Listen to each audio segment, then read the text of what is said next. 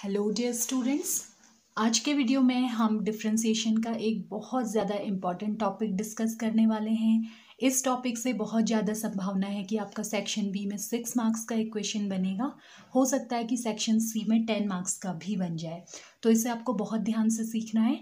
इसके लिए आपको प्रीवियस वीडियोस को अगर आपने देखा है तो कुछ स्टैंडर्ड लिमिट्स मैंने बताई थी वहाँ पर।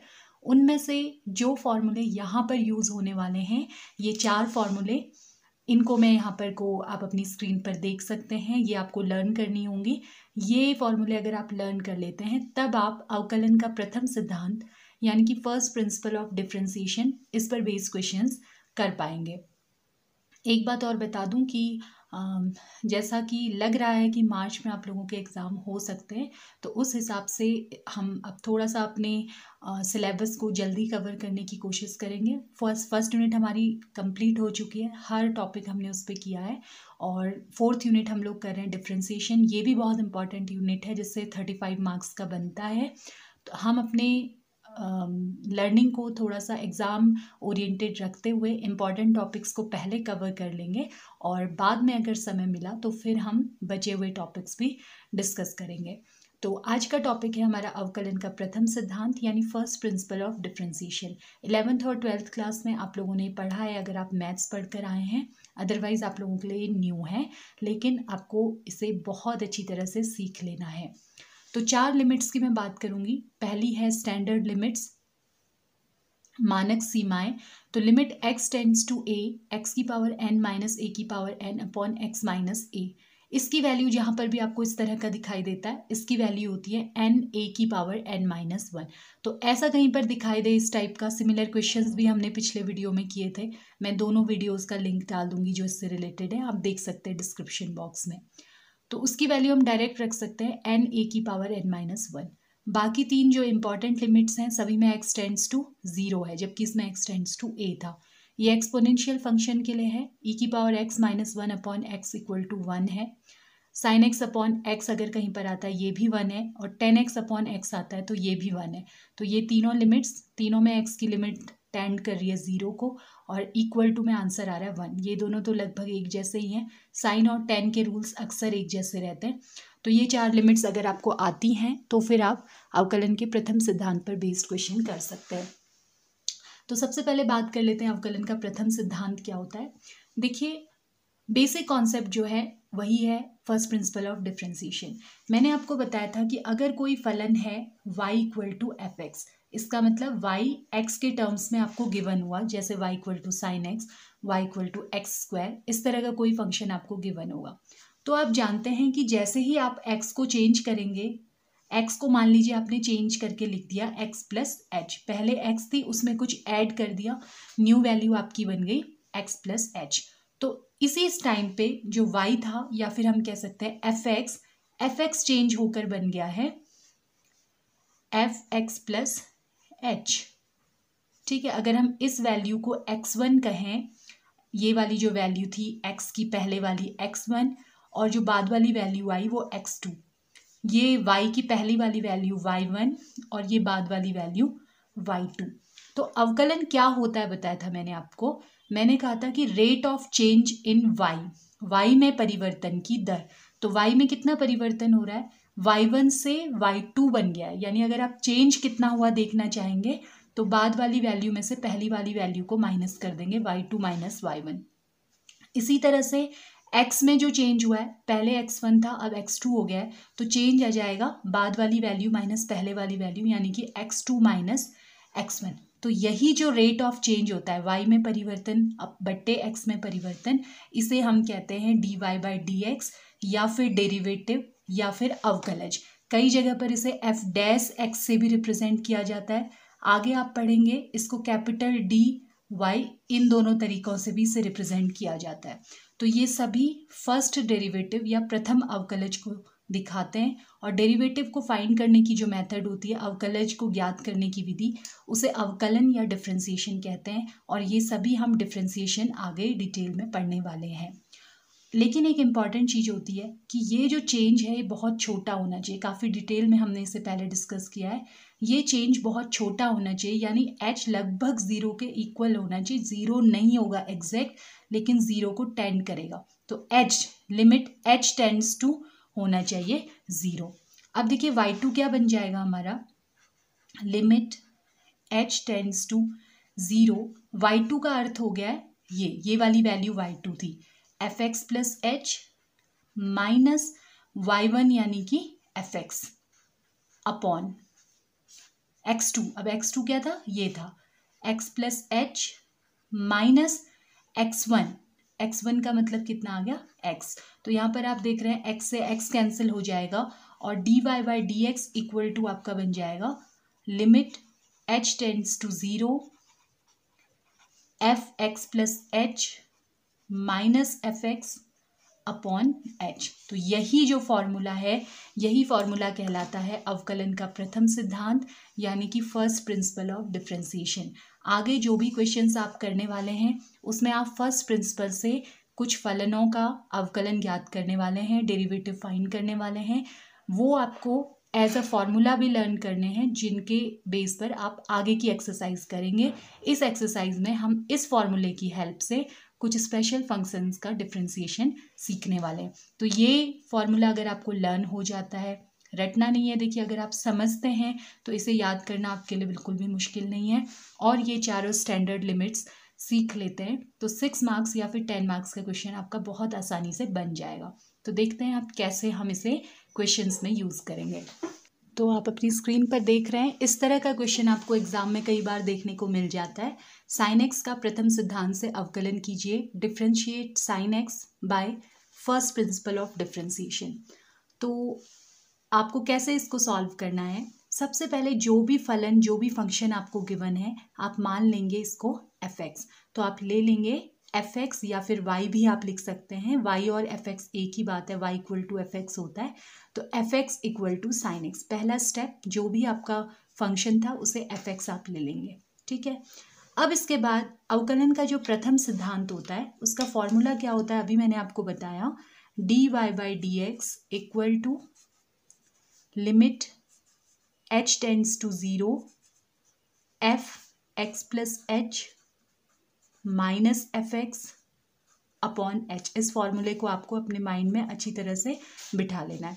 तो यहाँ पर हमें एक तो एफ़ एक्स की ज़रूरत पड़ रही है, एक एफ़ एक्स प्लस एच की ज़रूरत पड़ रही है। एफ़ एक्स हमने लिख लिया तो अब हमें किसकी आवश्यकता है? एफ़ एक्स प्लस एच की। तो एफ़ एक्स प्लस एच कैसे आएगा? जहाँ पर भी एक्स आ रहा है, उसकी जगह पर एक्स प्लस एच रख देना है हमें आर एच एस में। तो साइन एक्स आ रहा था तो एक्स की जगह हम रख देंगे एक्स प्लस एच इसे हम ब्रैकेट में रखेंगे क्योंकि ये साइन का एंगल है। तो पूरा एंगल हमें एक साथ लिखना होगा, साइन एक्स प्लस एच तो अब यहाँ हमें वैल्यू रखनी है। देखिए क्या हो जाएगा। अब हम लिखेंगे अवकलन के प्रथम सिद्धांत के अनुसार। या फिर आप लिख सकते हैं according to first principle of differentiation तो अवकलन के प्रथम सिद्धांत के अनुसार क्या हो जाएगा? ये फॉर्मूला जो आपको लर्न करना है, जो हमने अभी सीखा भी कि कैसे आता है। तो यहाँ पर को आप वैल्यू रखेंगे limit h tends to zero f x plus h की जगह पर आपका आएगा साइन एक्स प्लस एच यहाँ से वैल्यू रख दी माइनस एफ़ एक्स है एफ़ एक्स की जगह पर आपको वैल्यू रखनी है साइन एक्स अपॉन एच ठीक हो गया। थोड़ा सा यहाँ पर ट्रिग्नोमेट्री का भी यूज़ होगा। तो ज़रूरी है कि आपको ट्रिग्नोमेट्री के ये फॉर्मूले भी लर्न हो। अगर नहीं है, अभी आपने ट्रिग्नोमेट्री नहीं पढ़ी है तो आपके लिए ये फार्मूला लर्न करना भी एक काम एक्स्ट्रा इसमें होगा। तो यहाँ पर देखिए sine a minus sine b type का बन रहा है और इसके लिए ट्रिग्नोमेट्री में एक फॉर्मूला होता है। Sine a minus sine b equals to होता है two sine sorry two cos a plus b upon two sine a minus b upon two तो ये फॉर्मूला हमें यहाँ यूज़ करना है। ये पहला वाला एंगल जो है, ये हमारा ए बन गया। दूसरा वाला एंगल यानी एक्स बन गया हमारा बी तो देखिए अब यहाँ पर क्या होगा? यहाँ पर हम जब फॉर्मूला यूज़ करेंगे तो ये हमारा बन जाएगा limit h tends to zero आप यहाँ पे देख सकते हैं, अगर आप एच की डायरेक्ट लिमिट रखेंगे ना तो sine x plus zero sine x minus sine x sine x से साइन एक्स कट जाएगा ज़ीरो, अपॉन में एच रखेंगे तो फिर से ज़ीरो। तो ये आपकी एक ज़ीरो अपॉन ज़ीरो वाली फॉर्म आएगी। तो इसका मतलब है, मैंने आपको बताया था, जब भी ऐसी फॉर्म आई तो हमें कोई फॉर्मूले कोई दूसरे तरीके इस्तेमाल करने होते हैं, जिससे फॉर्म हमारी हट जाए। तो इसी वजह से हम यहाँ पर sine a minus sine b का फॉर्मूला यूज़ करेंगे। तो sine a minus sine b का ये फॉर्मूला है, यहाँ पर हमारा आ जाएगा two cos a plus b a यानी कि x plus h plus b b यानी कि x upon two into है sine a minus b. A क्या है हमारा x plus h minus b है हमारा एक्स अपॉन टू। तो ये ऊपर न्यूमरेटर यानी अंश में हमने ये फॉर्मूला यूज़ कर दिया, ठीक है? अपॉन जो नीचे है हमारा क्या? एच, ये ऐसा ही रहेगा। अब यहाँ पर आप देख रहे हैं एक्स से एक्स कैंसिल हो जाएगा। अभी भी अगर आप ज़ीरो रखते हैं डायरेक्ट तो यहाँ पर इसमें तो ठीक है ज़ीरो रखने से कॉ एच की जगह पर अगर आप ज़ीरो रखते हैं तो cos two x upon two cos x बनेगा। लेकिन यहाँ पर अगर आप एच की जगह ज़ीरो रखते हैं तो साइन ज़ीरो अपॉन टू यानी कि साइन ज़ीरो साइन ज़ीरो की वैल्यू होती है ज़ीरो और अपॉन में एच भी आ रहा है ज़ीरो तो ये अगेन आपका बन रहा है ज़ीरो अपॉन ज़ीरो वाली फॉर्म इसका मतलब अभी आपको और कुछ करने की ज़रूरत है। तो मैंने कहा, यहाँ पर दिक्कत नहीं होने वाली है एच में ज़ीरो रखने से। X plus zero plus x यानी टू एक्स अपॉन टू यानी कॉस एक्स बनेगा। तो जिसकी वजह से दिक्कत नहीं हो रही है, मैं उसे बाहर निकाल लेती हूँ। मैं लिखूँगी limit h tends to zero two cos x plus h plus x upon two into इन दोनों की वजह से दिक्कत थी तो मैं इन्हें अलग लिख दूँगी। यहाँ पर मेरा बच गया था sine.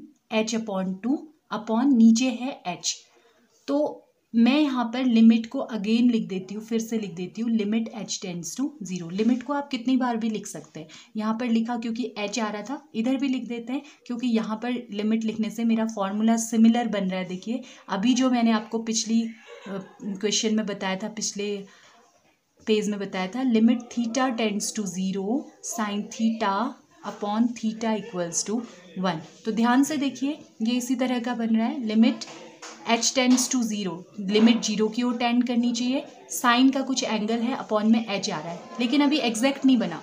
क्यों? तो देखो, यहाँ पर हमें इन तीनों को सेम करना है।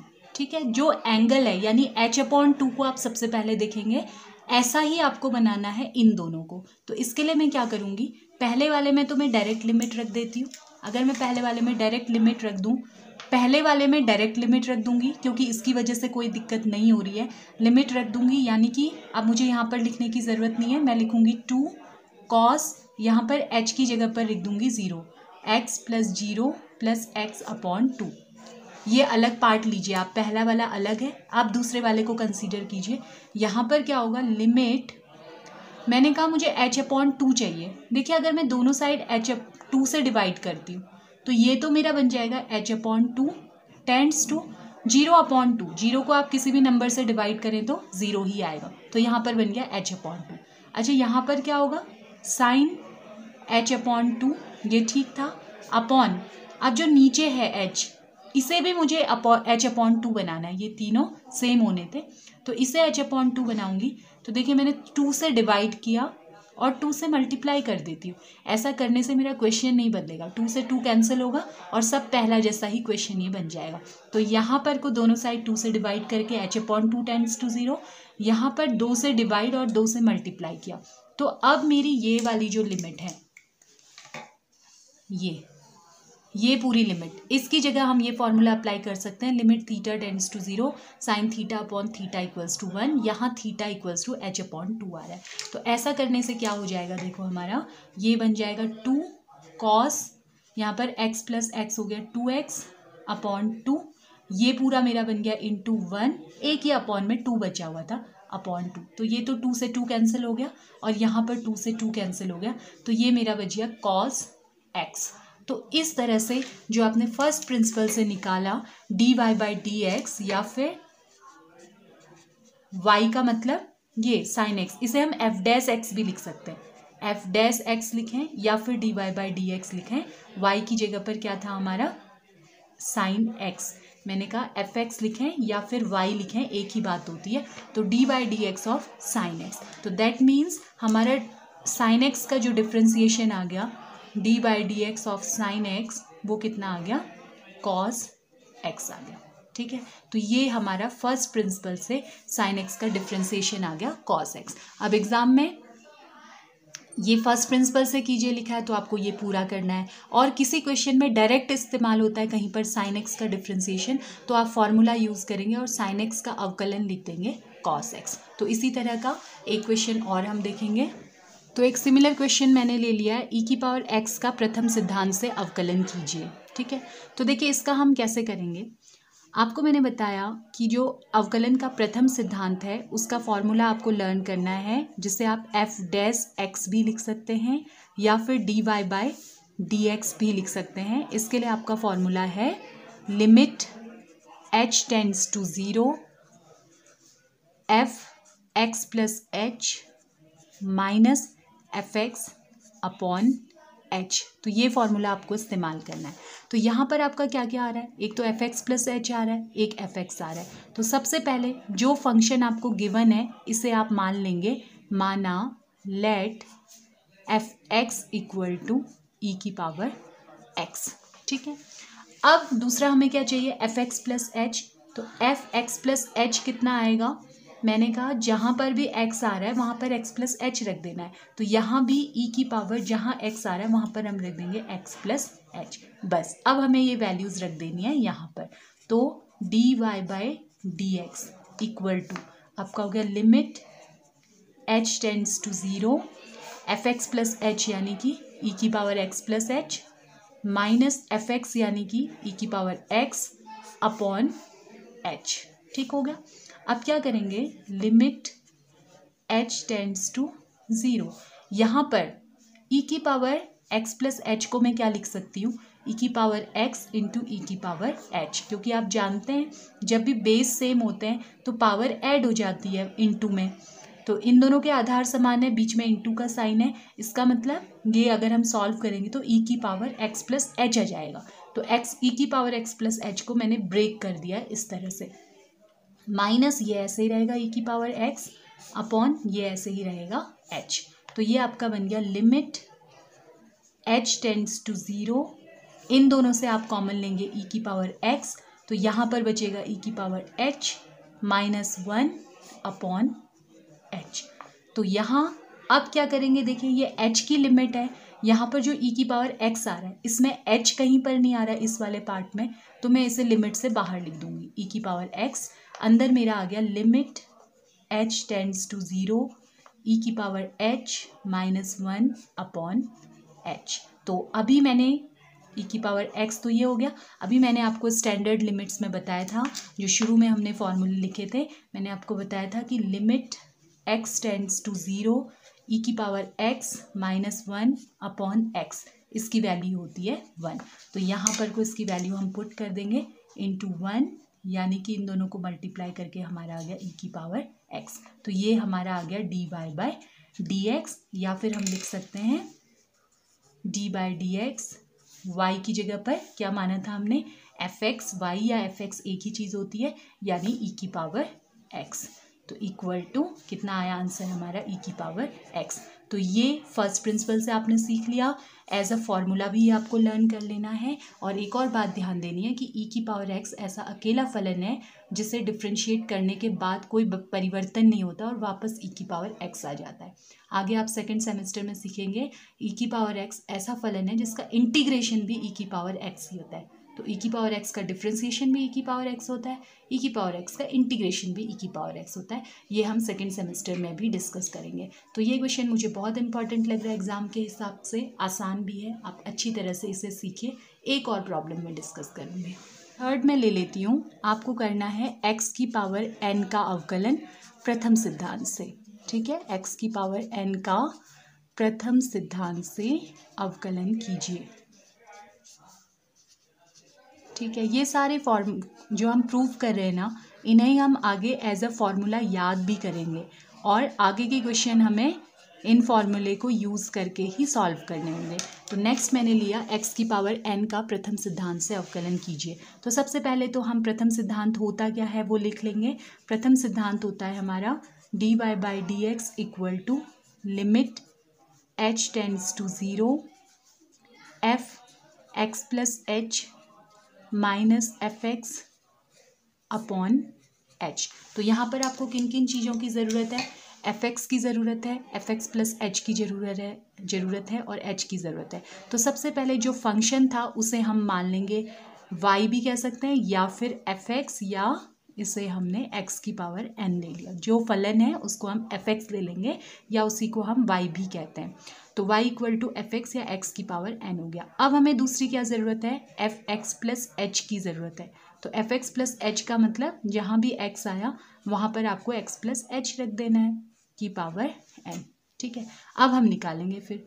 Now using the first principle प्रथम सिद्धांत के अनुसार d y by d x equal to limit h tends to zero f x plus h की जगह पर एक्स प्लस एच की power n minus f x f x की जगह पर एक्स की पावर एन अपॉन एच ठीक हो गया?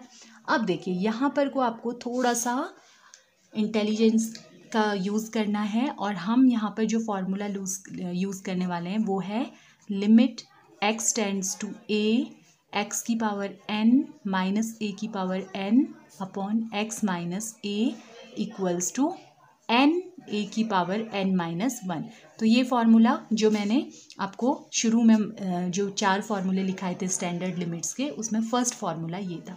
तो यहाँ पर देखिए इसी तरह का बन रहा है। ये अगर मैं इसको एक्स समझ लूँ तो एक्स की पावर एन माइनस इसकी जगह पर ए है। तो ए की पावर एन इस तरह का फॉर्मूला बन रहा है। तो ध्यान से देखना, जब आप इसको इससे कंपेयर करेंगे तो आप देखेंगे कि जहाँ पर एक्स आ रहा है, वहाँ पर अभी एक्स प्लस एच आ रहा है। ठीक है, यहाँ पर हमारा x की पावर n आता था, x प्लस एच की पावर n आ रहा है।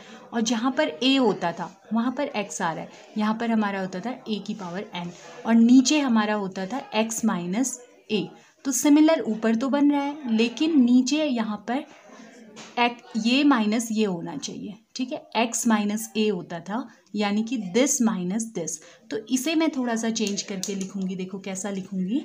इसे मैं लिखूँगी limit h tends to zero ऊपर वाला ऐसे ही रहने देते हैं एक्स प्लस एच की पावर एन माइनस एक्स की पावर एन अपॉन इसे मैं क्या लिख सकती हूँ, देखिए दिस माइनस दिस अगर मैं कर दूँ x plus h minus x तो आप देखेंगे इससे ये कैंसिल होगा और वापस एच ही बचेगा। तो एच को ऐसा भी लिखा जा सकता है। अगर मैं ऐसा लिखूं तो अब ये बिल्कुल इस फॉर्म का बन जा रहा है। एक्स की पावर एन माइनस ए की power n upon x minus a जहाँ पर एक्स की जगह पर है एक्स प्लस एच और ए की जगह पर है एक्स एक्स की जगह पर देख रहे हैं आप एक्स प्लस एच और ए की जगह पर है एक्स अब अंदर वाला तो पूरा बन गया है, लेकिन जो लिमिट है लिमिट भी क्या होनी चाहिए?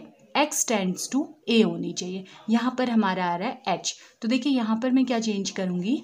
लिमिट मैं इस लिमिट में दोनों साइड एक्स ऐड करूँगी। यहाँ पर भी एक्स प्लस कर दूँगी, यहाँ पर भी प्लस एक्स कर दूँगी। तो x plus h tends to x plus zero ऐसा करने से भी कोई फ़र्क नहीं पड़ता, क्योंकि इससे ये कैंसिल होगा तो वापस एच टेंड्स टू ज़ीरो ही आएगा। तो ये भी इंपॉर्टेंट स्टेप था, जिसमें आपने दोनों साइड एक्स ऐड कर दिया अंदर ऊपर आपका आ गया x plus h tends to की पावर एन माइनस एक्स की power n upon x plus h minus x अब क्या बन जाएगा ये? Limit x plus h tends to x और ये बन गया आपका x प्लस एच की पावर n माइनस एक्स की power n upon x plus h minus x ठीक है? तो अब हमारा बिल्कुल सिमिलर बन गया है हमारी जो स्टैंडर्ड लिमिट होती है, जो फार्मूला होता है, हमारा फार्मूला होता है एक्स की पावर एन माइनस ए की पावर एन अपॉन नीचे होता है एक्स माइनस ए और यहाँ पर होता है एक्स टेंड्स टू ए तो एक्स की जगह पर है एक्स प्लस एच ए की जगह पर है एक्स एक्स माइनस ए होता है तो x plus h minus x यहाँ पर होना चाहिए एक्स टेंस टू ए तो इसके अकॉर्डिंग एक्स क्या है?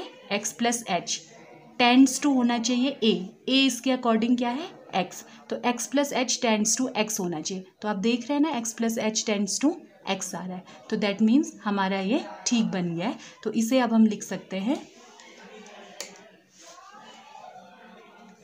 लिमिट इसको जब आप इससे कम यूज़ करेंगे इससे तो इसकी वैल्यू हम लिख सकते हैं एन ए की पावर एन माइनस वन तो ए की जगह पर अभी हमारा क्या है? एक्स ए की जगह पर यहाँ पर हमने लिखा क्या? एक्स तो एन इंटू एक्स की पावर एन माइनस वन तो ये आपका फॉर फॉर्मूला भी बन गया है और ये आपका सिक्स मार्क्स का क्वेश्चन भी बन सकता है. D y by d x यानी कि d d x of y की जगह पर क्या? एक्स की पावर एन इक्वल टू आ गया एन एक्स की पावर एन माइनस वन तो इस तरह से आपको इस क्वेश्चन को करना होगा। वैसे एग्ज़ाम में जो क्वेश्चन पूछे जा रहे हैं, वो साइन पे कॉस पे ई e की पावर पे, इस तरह के क्वेश्चन ज़्यादा पूछे जा रहे हैं। फिर भी मैंने आपको एक ये वाला क्वेश्चन भी एक्स्ट्रा बता दिया। पहले वाले दो ज़्यादा इंपॉर्टेंट है। बाकी दो क्वेश्चन मैं आपको होमवर्क दे रही हूँ। आप उनको सॉल्व कीजिए। कुछ और मिलती जुलती प्रॉब्लम्स मैं आपको नोट्स में प्रोवाइड करवा दूँगी। इस टॉपिक को ज़रूर सीखिए, थोड़ी मेहनत ज़रूर करनी है इस पर लेकिन ये क्वेश्चन आपका सिक्स मार्क्स का एग्ज़ाम में पूछा जाना है तो आपको ये तो सीखना ही है, ठीक है? ये दोनों क्वेश्चंस हैं जो आपको होमवर्क में करने हैं, आप इन्हें सॉल्व कीजिए, मुझे आंसर बताइए कमेंट बॉक्स में। बाद में मैं नोट्स में आपको इनका सॉल्यूशन भी प्रोवाइड करवा दूँगी। कल से हम अपना एलिमेंट्री डिफ्रेंसीशन स्टार्ट करेंगे, जो इंपॉर्टेंट है इंटरेस्टिंग है, और आपको थोड़ा सा मेहनत करने पर बहुत अच्छा लगने वाला है। तो मिलेंगे नेक्स्ट वीडियो में। Thanks for watching the video.